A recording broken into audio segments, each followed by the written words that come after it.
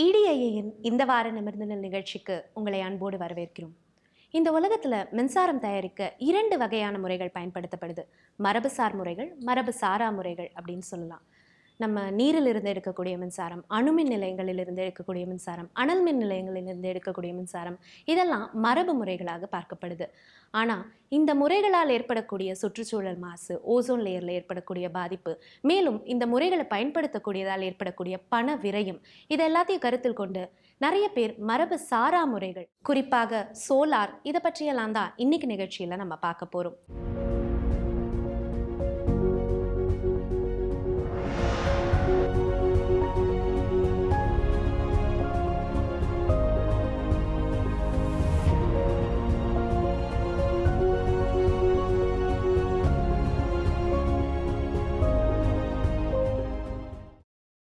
இதை பற்றியான விரிவான தகவல்களை நம்மோடு பகிர்வதற்காக எஃபிகா எனர்ஜி பிரைவேட் லிமிடெடினுடைய நிர்வாக இயக்குனர் திரு மோகன் அவர்கள் நம்மோடு இணைஞ்சிருக்கிறாரு.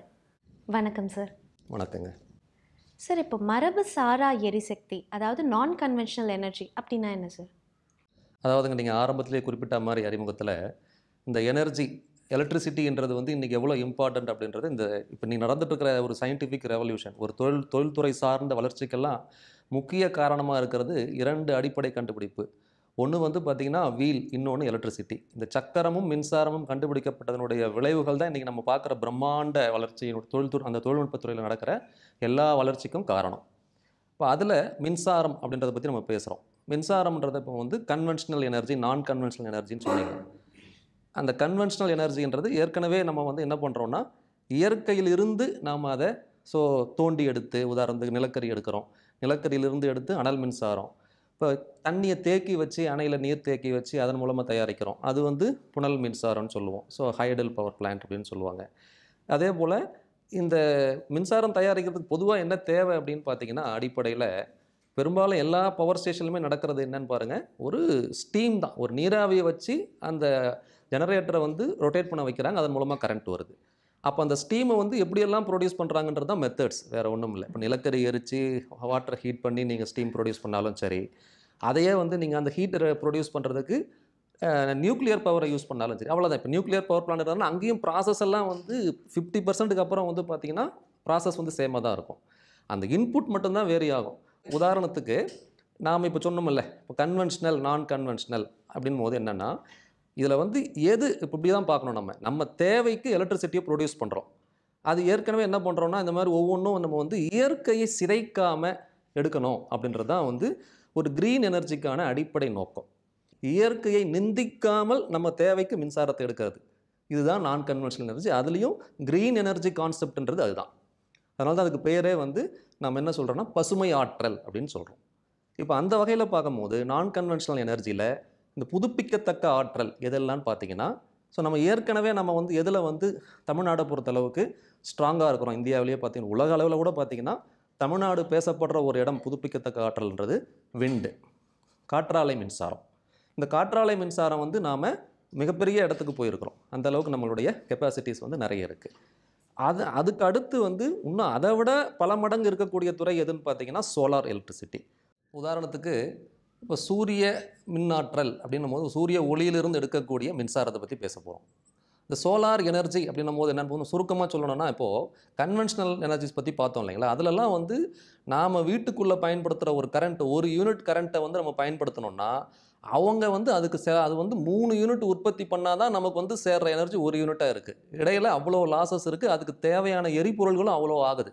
அப்போ கணக்கு பார்க்கும்போது செலவும் அதிகம் சுற்றுச்சூழல் சீர்கேடும் அதிகம் இது மாதிரிலாம் இருக்கும்போது அது இல்லாமல் இயற்கைக்கு எந்த ஒரு ஸோ கேடும் விளைவிக்காமல் நாமளும் வந்து தேவையான மின்சாரத்தையும் பயன்படுத்திக்கக்கூடிய வகையில் அதுவும் இதில் இன்னொரு அட்வான்டேஜ் என்னென்னு பார்த்தோமா எவ்வளோ பெரிய அளவுனாலும் பண்ணலாம். அதாவது சென்ட்ரலைஸ்ட் அண்ட் டீசென்ட்ரலைஸ்டுன்னு சொல்லுவாங்க.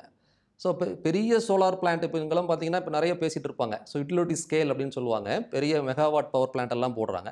அதையே சின்ன அளவில் நீங்கள் வந்து ஒரு தேவைன்னா ஒரு சோலார் லேண்டனில் ஆரம்பித்து ஒரு லைட் எமர்ஜென்சி லைட்டில் ஆரம்பித்து ஒரு வீட்டுக்கு தேவையான குறைந்தபட்ச மின்சாரம் ஒரு கிலோவாட் ரெண்டு கிலோவாட் மூணு கிலோவாட் வரைக்கும்லாம் ஒரு நாளைக்கு வந்து ஒரு நாலு யூனிட்டு பத்து யூனிட்டு பதினஞ்சு யூனிட்ன்ற மாதிரி உற்பத்தி பண்ணக்கூடிய அளவுக்கெல்லாம் வந்து நம்ம சோலார் பவர் பிளான்ட்ஸை போட முடியும்.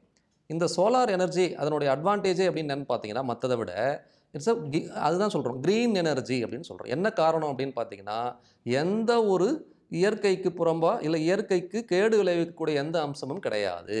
நேரடியாக சூரிய ஒளியில் இருக்கிற அந்த லைட்டை தான் இப்போ சூரிய வெளிச்சத்தில் அதையும் பேசிக்காக பார்த்தீங்கன்னா இரண்டு ஆற்றல் இருக்குது ஒன்று வந்து ஒளி இன்னொன்று வெப்பம் லைட் அண்ட் ஹீட் இப்போ நம்ம கரண்ட் இப்போ இப்போ எலக்ட்ரிசிட்டி ப்ரொடியூஸ் பண்ணுறதுக்கெல்லாம் என்ன பண்ணுறோம் அப்படின்னு சொன்னால் அந்த லைட்டை தான் நம்ம யூஸ் பண்ணுறோம் இதையே சோலார் வாட்டர் ஹீட்டர்னு சொல்லுவாங்க ஹீட்டிங் கான்செப்ட் அது வந்து என்ன பண்ணுன்னா சோலார் லைட்டில் இருக்கிற அந்த ஹீட்டை எடுத்துக்கும். அந்த ரேஸில் இருக்கிற ஹீட்டை எடுத்துக்கும். இதுதான் பேசிக்ஸ் சோலார் எனர்ஜியில் சார் நான் கன்வென்ஷனல் எனர்ஜி ரெனியூவபிள் எனர்ஜி இதில் நீங்கள் சொல்கிறத வச்சு பார்த்தா பல வகைகள் இருக்கிற மாதிரி தெரியுது. ஒரு தொழில் முனைவோர் குறைந்த முதலீட்டில் தொழில் தொடங்கணும் அப்படின்னா எதை சூஸ் பண்ணால் சரியாக இருக்கும் சார் இப்போ புதுப்பிக்கத்தக்க ஆற்றல் இப்போ ரெனியூவபிள் எனர்ஜிலன்னு பார்த்தீங்கன்னா எப்படி காற்றாலை மின்சாரம் சூரிய ஒளி மின்சாரம் அது போக பார்த்தீங்கன்னா பயோமாஸ் இந்த மாதிரி க- கடல் அலையிலிருந்து கூட எடுக்க முடியும். நம்ம டைடல் எலக்ட்ரிசிட்டி அப்படிலாம் சொல்கிறோம் இந்த நிறைய வகைகள் இருக்குது இதில் வந்து நாம் மேஜராக மின்சாரத்தை தயாரிக்கக்கூடிய இடங்கள்னு பார்த்தீங்கன்னா இ- இப்போதைக்கு வந்து இரண்டு இடங்கள் தான் இருக்குது ஒன்று வந்து ஏற்கனவே நாம் சாதிச்சு காட்டியிருக்கிற வின் பவர் இன்னொன்று இப்போ வளர்ந்து வந்து கொண்டிருக்கின்ற சோலார் துறை சூரிய ஒளி மின்சாரம். ஒரு குறைந்தபட்ச அறிவியல். நான் வந்து எனக்கு ச- ஆர்வம் இருக்குது நான் சயின்ஸ் குரூப் ஏதோ படிச்சிருக்கிறேன் ஒரு ப்ளஸ் டூவில் நான் ஏதாவது இந்த சூரிய ஒளி மின்சாரத்துறையில் வந்து வேலைகளை வந்து செய்ய முடியுமா? தொழில் செய்ய முடியுமா? அப்படின்னா நிச்சயமாக அத்தனை வாய்ப்பு வேலை வாய்ப்புகள் இதில் இருக்குது அதுதான் உண்மை. உதாரணத்துக்கு நீங்கள் சொன்ன மாதிரி இந்த சூரிய ஒளி மின்சாரம்ன்றது எவ்வளோ பெரிய ஆற்றல் மிகுந்த ஒரு துறைன்னு பார்த்தீங்கன்னா நாம் இன்றைக்கி இந்த பூமியில் இருக்கிற எல்லா அந்த ரிசோர்ஸஸை எரிசக்திகளை தேவையானதெல்லாம் எவ்வளோ எடுத்து இந்த மின்சாரம் தயாரிச்சுட்டு இருக்கிறோமோ அதெல்லாம் வந்து அதில் தீர்ற வரைக்கும் எடுத்தால் கூட நம்ம எவ்வளோ மின்சாரம் தயாரிக்க முடியுமோ அந்த மின்சாரத்தை சூரிய ஒளியிலேருந்து தயாரிக்கணும்னு நினச்சா இந்த பூமி மேலே விழுது பாருங்கள் ஒரு நாளில் விழக்கூடிய சூரிய ஒளியிலேயே அவ்வளோ மின்சாரம் இருக்குது ஆனால் நாம் அதை கேப்சர் பண்ண முடியறதில்ல. அதுக்கு இன்னும் டெக்னாலஜி வளர்ந்துக்கிட்டு இருக்குது இன்னும் நிறைய எல்லா நா- மேலை நாடுகள்லாம் பார்த்திங்கன்னா தொழில்நுட்பங்களோட வளர்ச்சினால நம்மளோட கொஞ்சம் அதிகமாக இருக்காங்க. இந்தியாவை பொறுத்த அளவுக்கு இன்றைக்கி சோலாரில் வந்து நம்ம ஐந்தாவது இடத்துல இருக்கிறோம். முதல் இடத்துல சைனா இருக்குது நாம் ஐந்தாவது இடத்துல இருக்கிறோம். அப்போ அவ்வளோ பெரிய துறை. அதாவது இரண்டாயிரத்தி இருபத்தி ரெண்டில் இருபது ஜிகாவாட் வந்து நம்ம சோலார் மின்சாரத்தில் வந்து எடுக்கணும்னு சொல்லி ஒரு டார்கெட் வச்சாங்க. நமக்கு இலக்கு வச்சுருந்தாங்க. இந்திய அரசு. அந்த இலக்கை வந்து பார்த்திங்கன்னா இன்றைக்கி நம்ம வந்து டூ தௌசண்ட் எயிட்டீன்லேயே அச்சீவ் பண்ணியாச்சு. அப்போ எவ்வளோ வேகமாக வளர்ந்து வருதுன்னு பாருங்கள் இந்த சூரிய ஒளி மின்சாரம்.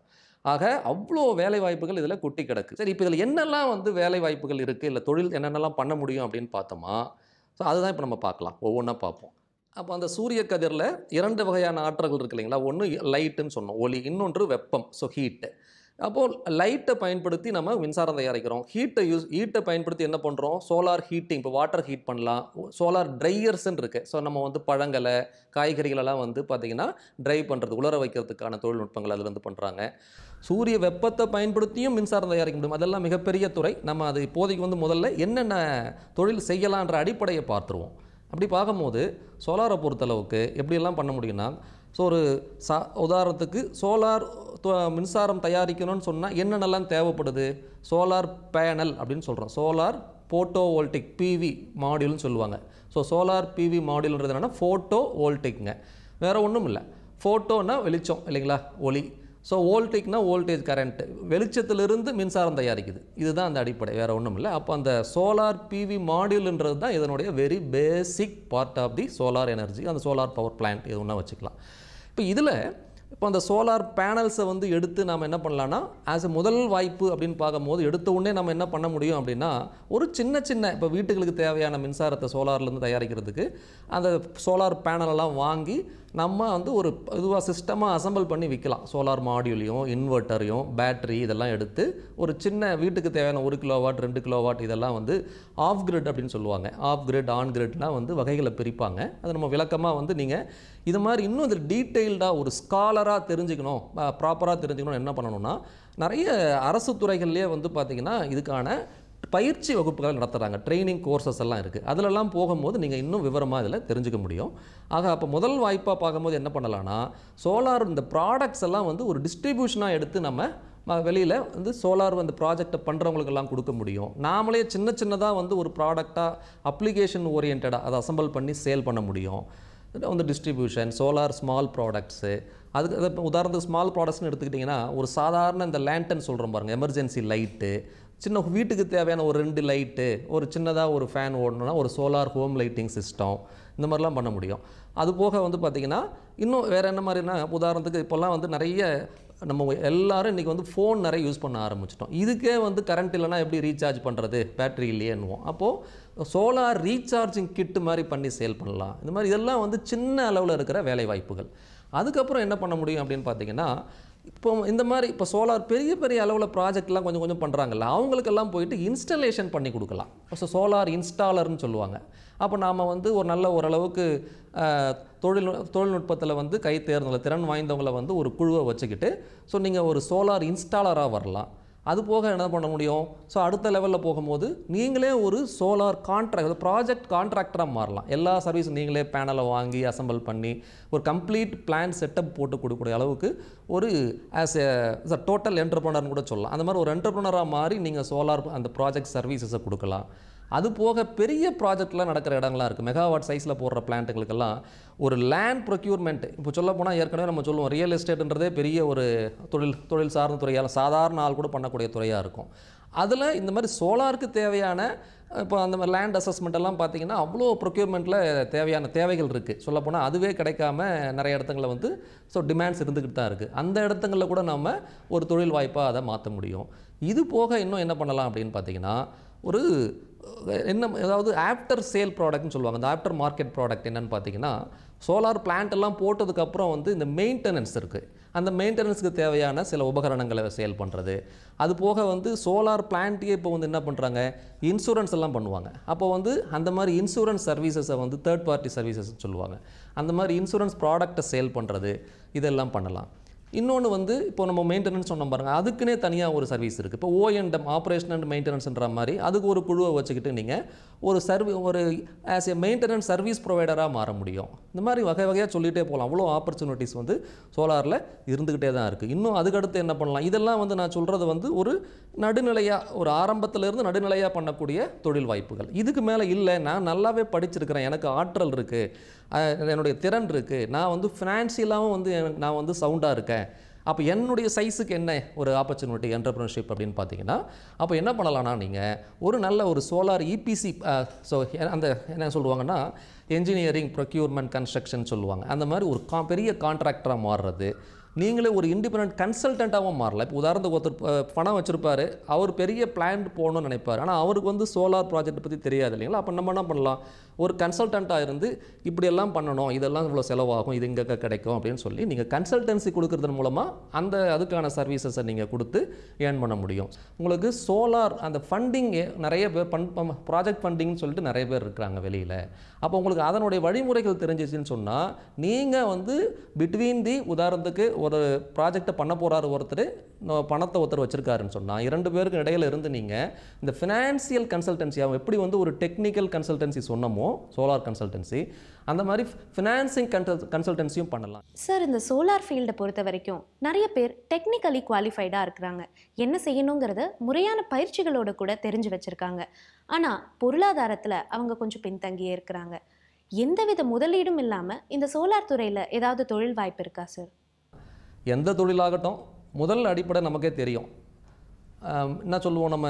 இந்த ரிசோர்ஸஸ் தேவைப்படுற ரிசோர்ஸஸில் முக்கியமானது மூன்று இல்லைங்களா?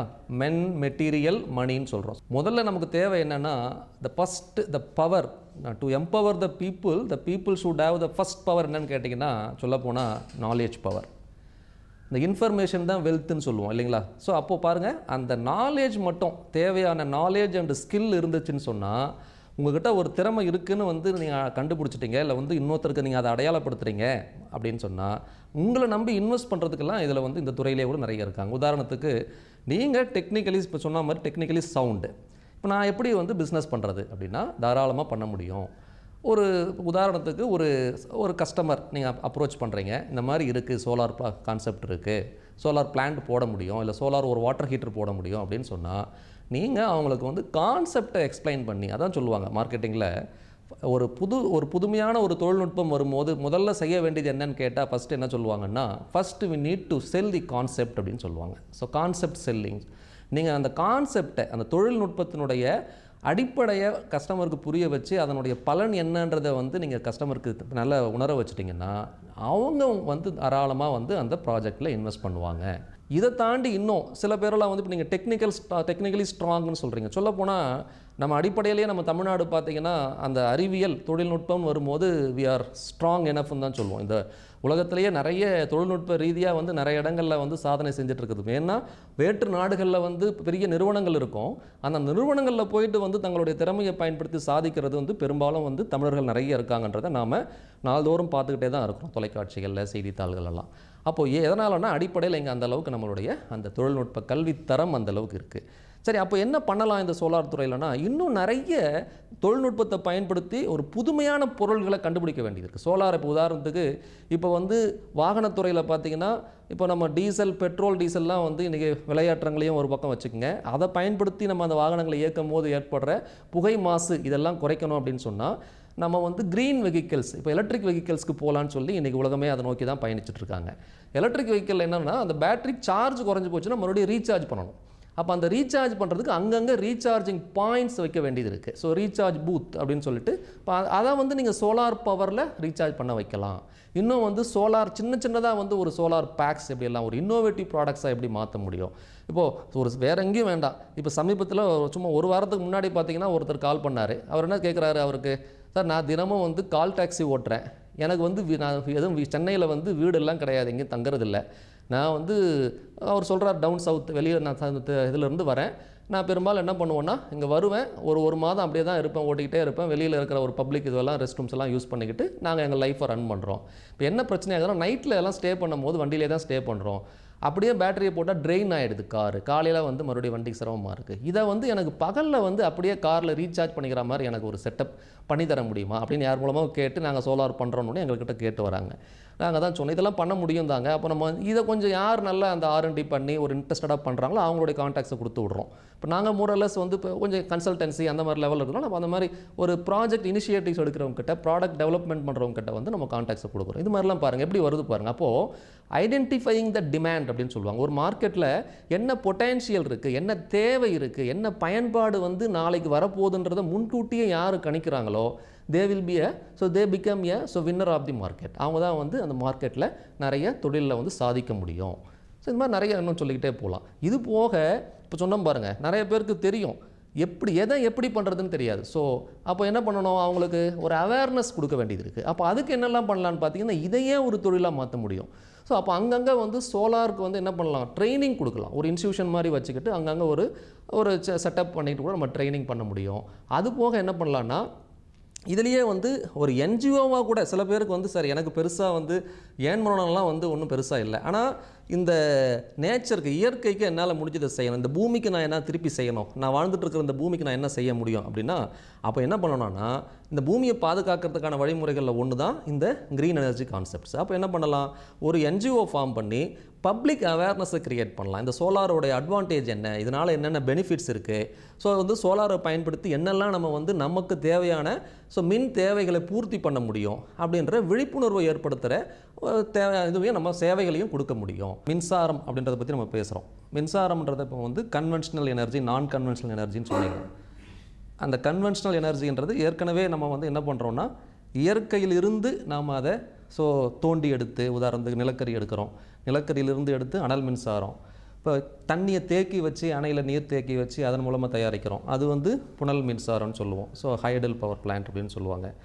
அதே போல் இந்த மின்சாரம் தயாரிக்கிறதுக்கு பொதுவாக என்ன தேவை அப்படின்னு பார்த்தீங்கன்னா அடிப்படையில் பெரும்பாலும் எல்லா பவர் ஸ்டேஷன்லையுமே நடக்கிறது என்னன்னு பாருங்கள் ஒரு ஸ்டீம் தான். ஒரு நீராவியை வச்சு அந்த ஜெனரேட்டரை வந்து ரொட்டேட் பண்ண வைக்கிறாங்க. அதன் மூலமாக கரண்ட் வருது. அப்போ அந்த ஸ்டீமை வந்து எப்படியெல்லாம் ப்ரொடியூஸ் பண்ணுறாங்கன்றது தான் மெத்தட்ஸ் வேறு ஒன்றும் இல்லை. இப்போ நிலக்கரி எரித்து வாட்டரை ஹீட் பண்ணி நீங்கள் ஸ்டீம் ப்ரொடியூஸ் பண்ணாலும் சரி அதையே வந்து நீங்கள் அந்த ஹீட்டரை ப்ரொடியூஸ் பண்ணுறதுக்கு நியூக்ளியர் பவரை யூஸ் பண்ணாலும் சரி அவ்வளோதான் இப்போ நியூக்ளியர் பவர் பிளான்ட் இருந்தாலும் அங்கேயும் ப்ராசஸ் எல்லாம் வந்து ஃபிஃப்டி பர்சன்ட்டுக்கு அப்புறம் வந்து பார்த்தீங்கன்னா ப்ராசஸ் வந்து சேமாக தான் இருக்கும். அந்த இன்புட் மட்டும்தான் வேரி ஆகும். இயற்கையை இன்னும் சொல்ல போனால் சுருக்கமாக சொல்லணும்னா இயற்கையை நிந்திக்காமல் நம்ம தேவைக்கு மின்சாரத்தை எடுக்கிறது இதுதான் நான் கன்வென்ஷனல் எனர்ஜி அதுலேயும் க்ரீன் எனர்ஜி கான்செப்ட்ன்றது அதுதான். புதுப்பிக்கத்தக்க ஆற்றல் எதெல்லாம் பார்த்தீங்கன்னா ஸோ நம்ம ஏற்கனவே நம்ம வந்து எதில் வந்து தமிழ்நாடை பொறுத்தளவுக்கு ஸ்ட்ராங்காக இருக்கிறோம். இந்தியாவிலேயே பார்த்தீங்கன்னா உலக அளவில் கூட பார்த்தீங்கன்னா தமிழ்நாடு பேசப்படுற ஒரு இடம் புதுப்பிக்கத்தக்க ஆற்றல்ன்றது விண்டு காற்றாலை மின்சாரம். இந்த காற்றாலை மின்சாரம் வந்து நாம் மிகப்பெரிய இடத்துக்கு போயிருக்கிறோம். அந்தளவுக்கு நம்மளுடைய கெப்பாசிட்டிஸ் வந்து நிறைய இருக்குது அது அதுக்கு அடுத்து வந்து இன்னும் அதை விட பல மடங்கு இருக்கக்கூடிய துறை எதுன்னு பார்த்தீங்கன்னா சோலார் எலக்ட்ரிசிட்டி சார் நான் கன்வென்ஷனல் எனர்ஜி ரெனியூவபிள் எனர்ஜி இதில் நீங்கள் சொல்கிறத வச்சு பார்த்தா பல வகைகள் இருக்கிற மாதிரி தெரியுது. ஒரு தொழில் முனைவோர் குறைந்த முதலீட்டில் தொழில் தொடங்கணும் அப்படின்னா எதை சூஸ் பண்ணால் சரியாக இருக்கும் சார் நாம் இன்றைக்கி இந்த பூமியில் இருக்கிற எல்லா அந்த ரிசோர்ஸஸை எரிசக்திகளை தேவையானதெல்லாம் எவ்வளோ எடுத்து இந்த மின்சாரம் தயாரிச்சுட்டு இருக்கிறோமோ அதெல்லாம் வந்து அதில் தீர்ற வரைக்கும் எடுத்தால் கூட நம்ம எவ்வளோ மின்சாரம் தயாரிக்க முடியுமோ அந்த மின்சாரத்தை சூரிய ஒளியிலேருந்து தயாரிக்கணும்னு நினச்சா இந்த பூமி மேலே விழுது பாருங்கள் ஒரு நாளில் விழக்கூடிய சூரிய ஒளியிலேயே அவ்வளோ மின்சாரம் இருக்குது ஆனால் நாம் அதை கேப்சர் பண்ண முடிகிறது இல்லை அதுக்கு இன்னும் டெக்னாலஜி வளர்ந்துக்கிட்டு இருக்குது மின்சாரம் தயாரிக்கணும்னு சொன்னால் என்னென்னலாம் தேவைப்படுது? சோலார் பேனல் அப்படின்னு சொல்கிறோம் சோலார் போட்டோ வோல்டிக் பிவி மாடியூல்னு சொல்லுவாங்க. ஸோ சோலார் பிவி மாடியூல்ன்றது என்னென்னா ஃபோட்டோ வோல்டிக்ங்க இப்போ அந்த சோலார் பேனல்ஸை வந்து எடுத்து நாம் என்ன பண்ணலான்னா ஆஸ் எ முதல் வாய்ப்பு அப்படின்னு பார்க்கும்போது எடுத்த உடனே நம்ம என்ன பண்ண முடியும் அப்படின்னா ஒரு சின்ன சின்ன இப்போ வீட்டுகளுக்கு தேவையான மின்சாரத்தை சோலார்லேருந்து தயாரிக்கிறதுக்கு அந்த சோலார் பேனலெல்லாம் வாங்கி நம்ம வந்து ஒரு இதுவாக சிஸ்டமாக அசம்பிள் பண்ணி விற்கலாம் சோலார் இந்த ப்ராடக்ட்ஸ் எல்லாம் வந்து ஒரு டிஸ்ட்ரிபியூஷனாக எடுத்து நம்ம வெளியில் வந்து சோலார் வந்து ப்ராஜெக்டை பண்ணுறவங்களுக்கெல்லாம் கொடுக்க முடியும். நாமளே சின்ன சின்னதாக வந்து ஒரு ப்ராடக்டாக அப்ளிகேஷன் ஓரியன்டாக அதை அசம்பிள் பண்ணி சேல் பண்ண முடியும்.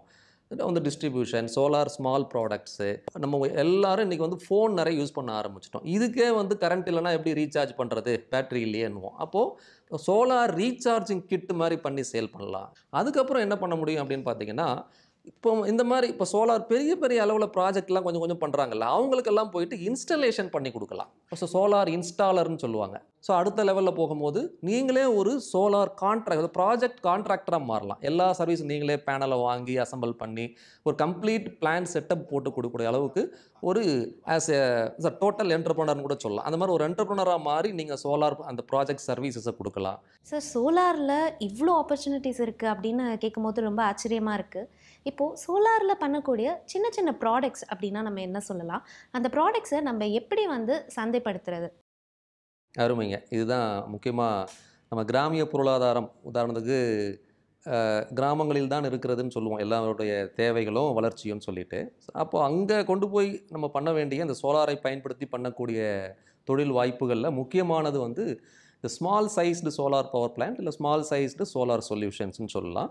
ப்ராடக்ட்ஸாகவும் சொல்லலாம். இப்போ நம்ம ஏற்கனவே இடையிடையே நம்ம குறிப்பிட்ட மாதிரி பார்த்தீங்கன்னா இப்போ சோலார் அடிப்படையில் வந்து என்னென்னு பார்த்தீங்கன்னா அதாவது ஃபேன் இருந்தால் நமக்கு கம்ஃபர்டபுளாக இருக்குன்றது ஒன்று ஆனால் இருட்டி போச்சுன்னா குறைந்தபட்சம் என்ன தேவை? அடிப்படைன்னு பார்த்தா லைட்டு தான் ஃபஸ்ட்டாக இருக்கும். மலை கிராமங்களில் குக்கிராமங்கள்லாம் பார்த்தீங்கன்னா இதை வந்து என்ன பண்ணுறாங்க சோலாரை பயன்படுத்தி குறைந்தபட்சம் முதல்ல அவங்கள கொண்டு போய் கொடுக்க வேண்டியது என்னென்னா ஒரு குறைந்த ஒரு சின்ன விளக்கு முதல்ல மின் விளக்கு. அப்போ சோலாரை பயன்படுத்தி ரீசார்ஜ் பண்ணக்கூடிய ஒரு பேட்டரி பேஸ்ட் சோலார் லேண்டன் வேறு ஒன்றும் இல்லை எஸ்எல் ஷார்ட்டாக சொல்லுவாங்க சோலார் லேண்டனை கொடுக்கணும்.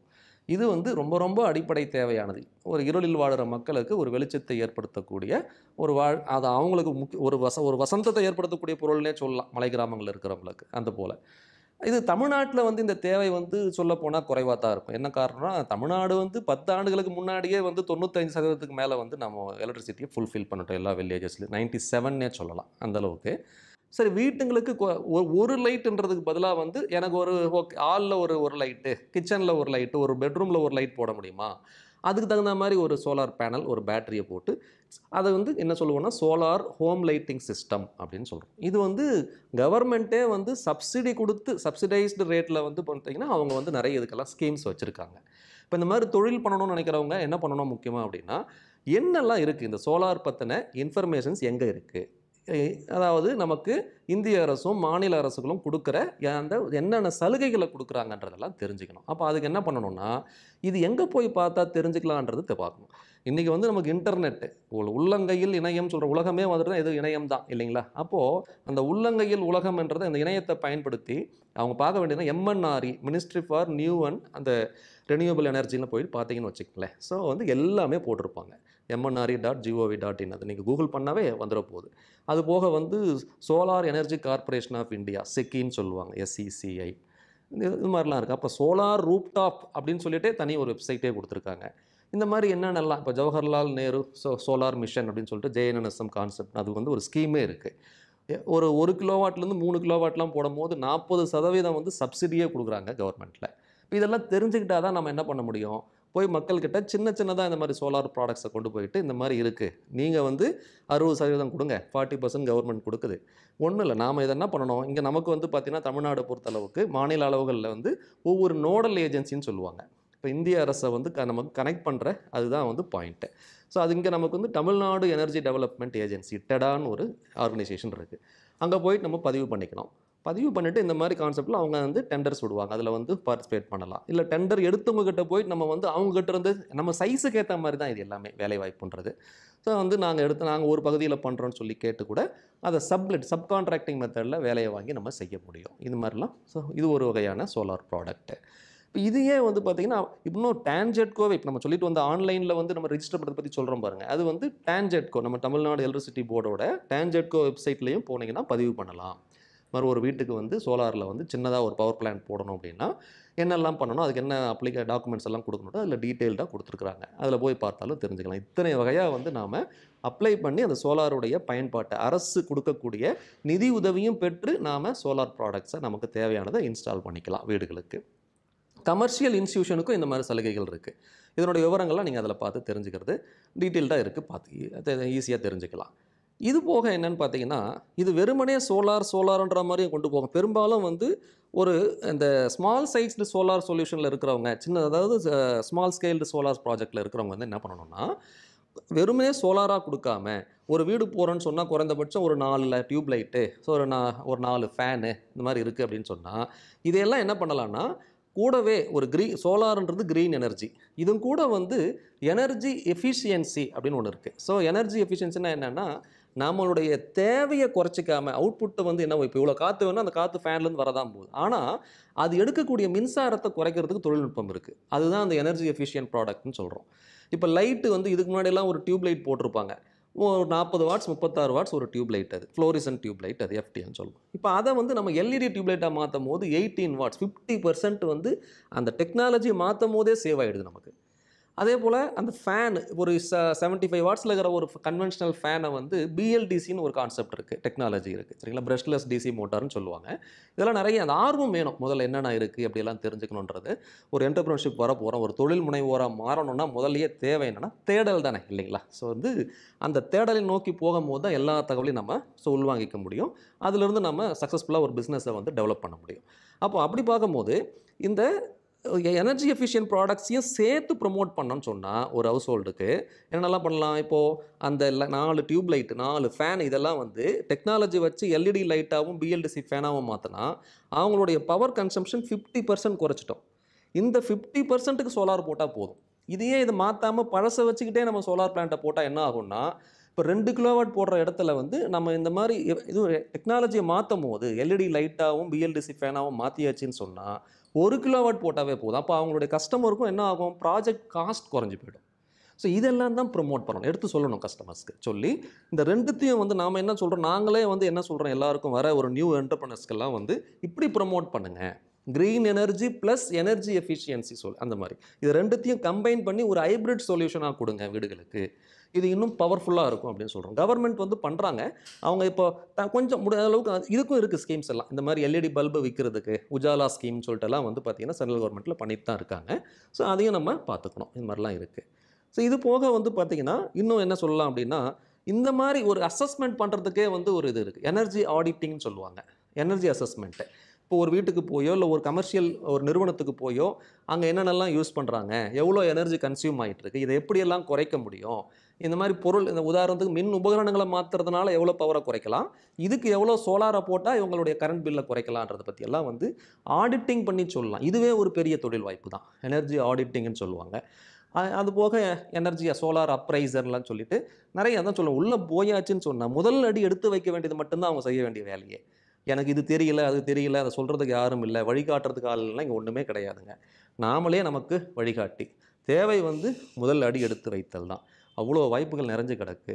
இன்னொன்று இந்த வீடுகளுக்கு பயன்படுத்துகிற இன்னொன்று முக்கியமானது பார்த்திங்கன்னா இப்போ நம்ம எப்படி மின்சாரத்தை சொன்னோமோ அது போல் இந்த சோ வாட்டர் ஹீட்டிங் அது நிறைய அளவுக்கு வந்துக்கிட்டு இருக்குது சில மாநிலங்கள் உதாரணத்துக்கு சில மாநிலங்களெல்லாம் வந்து இது வந்து ஒரு மேண்டேட்னு சொல்லுவாங்கள்ல கம்பல்சரி கட்டாயமாக அதை போட்டால் தான் உங்களுக்கு வீட்டுக்கு அப்ரூவலே கிடைக்கும் கன்ஸ்ட்ரக்ஷனுக்கு அது போட்டே ஆகணும். ஒரு எலக்ட்ரிசிட்டி கனெக்ஷன் வேணும்னா நீங்கள் சோலார் வாட்டர் ஹீட்டர் போட்டிருக்கணும் அப்படிலாம் சொல்லி சில மேண்டேட் இருக்குது தமிழ்நாட்டிலையும் இருக்குது ஆனால் அதை செயல்படுத்தி இன்னும் அதை வீரியமாக செயல்படுத்தணும்னு சொன்னால் உதாரணத்துக்கு ஒரு ஒரு தண்ணியை சூடு பண்ணுறதுக்கு எலக்ட்ரிக்கல் கைசர் யூஸ் பண்ணுறோம் வாட்டர் ஹீட்டர் யூஸ் பண்ணுறோம் அந்த வாட்டர் ஹீட்டரை வந்து நீங்கள் த கரண்ட் மூலமாக ஹீட் பண்ணி நீங்கள் எடுக்கிறதுக்கான எனர்ஜியில் சோலாரை போட்டிங்கன்னா அதில் வந்து டுவெண்ட்டி ஃபைவ் பர்சன்ட் தான் ஆகும் சார். அது ஒன் டைம் இன்வெஸ்ட் பண்ணிட்டா ten to fifteen years life so அதனால் ஹீட்டிங் ஏரியாவும் மிகப்பெரிய ஏரியா அதில் சின்ன சைஸ் ஸ்மால் சைஸ்னு பார்த்தீங்கன்னா அந்த மாதிரி சோலார் வாட்டர் ஹீட்டர்ஸ் யூஸ் பண்ணலாம். அது already proven technology last fifteen to twenty இயர்ஸாக எங்கள் ஃபீல்டில் இருக்குது ரொம்ப விலையும் குறைவு. ஸோ சோ ஒரு சோலார் எலக்ட்ரிசிட்டிக்கு போட வேண்டிய காசு கூட அதுக்கு ஆகாது. ஸோ அதனால் ஒரு கெய்சர் ஒரு கெய்சர் எலக்ட்ரிக் கெய்சர் வாங்குறோன்னா இன்றைக்கி வந்து சாதாரணமாக எட்டாயிரத்துலேருந்து பத்தாயிரம் ரூபா வருதுன்னு சொன்னால் இது அதை விட ரெண்டு மடங்கு இருக்கும். அவ்வளவுதான். ஒன் டைம் தான் இன்வெஸ்ட் பண்ண போகிறோம் ஸோ நமக்கு எவர் எவ்- சொல்லுவாங்க? எவ்ரிடே வந்து நமக்கு as a solar pay solar heated வாட்டராக கிடைக்க போகுது. ஸோ நேச்சுரலாக நம்ம வந்து அந்த ஹீட் பண்ண வாட்டர் எடுத்து நம்ம பயன்படுத்திக்கலாம். அது நம்ம வெறும் பாத்திங் மட்டும் இல்லாமல் காய்கறிகளை அலசுறதுக்கு இந்த மாதிரிலாம் வந்து பார்த்திங்கன்னா நிறைய விதத்தில் பய குக்கிங்க்கும் பயன்படுத்திக்க முடியும்.